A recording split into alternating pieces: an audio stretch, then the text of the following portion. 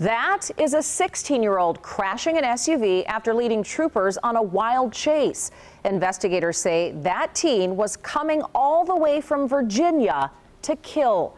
Troopers caught up with him in St. Johns County before he could get here and harm the parents of a 13 year old girl. Fox 35's Randy Hildreth is joining us live tonight. And Randy, police want this kid to stay behind bars exactly what you're saying, just as you listed the details of this wild and very chilling story. 10 state troopers were on the road yesterday looking for him. That's in addition to OPD also reaching out to the FBI and U.S. Marshals to try to track down this 16 year old. He's in custody now, but investigators hope that he's not let out anytime soon based on the disturbing facts of this case. God has commanded me to kill you. I will end your life.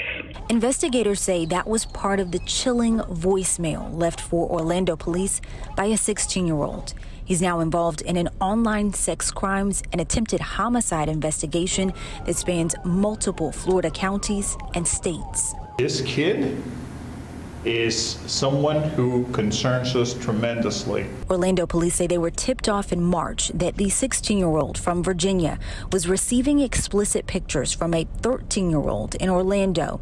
Investigators say the 16 year old was upset when he was busted and started plotting, contacting the OPD officer who worked the case. I will end your life and you will go to hell. Investigators say he researched how to make pipe bombs, stole his parents' SUV, and started making the over 750 mile drive to Orlando. Find the 13 year old, he knew where she lived.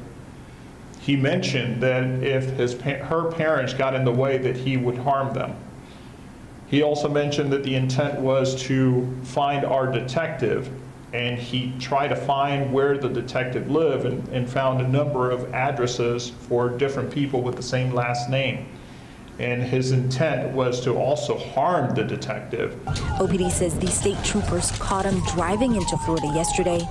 That roughly 10 mile chase topped 100 miles per hour. So we went ahead and went and executed the pit because we thought he was such a threat to society in general. Right now, he's being held in the juvenile detention center in St. Johns County. Police are urging the state to keep him there longer than the 21 day minimum important it is to keep this for us, for this individual to stay in some sort of facility. Uh, we believe that he is an imminent threat, an imminent danger to the city of Orlando, its community, uh, wherever he is.